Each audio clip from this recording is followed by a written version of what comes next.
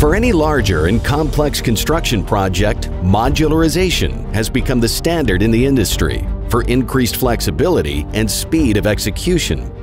In reality, however, the many stakeholders throughout the different phases of the design process may lead to only partial modeling or even compromised data.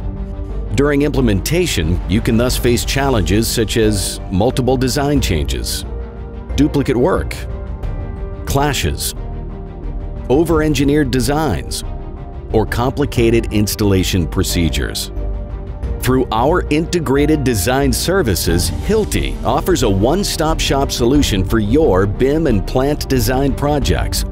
Our specialized teams will analyze your business objectives and design requirements to establish a precise execution framework and subsequently deliver optimized, multi-discipline designs along with engineering reports constructible 3D solutions integrated into your 3D model. Accurate material takeoffs and customized fabrication drawings. A dedicated project manager will collaborate with you throughout all project phases and even coordinate with your different offices and teams worldwide. We can help you further increase productivity, reduce total cost of ownership and construction, and support maintenance during operation.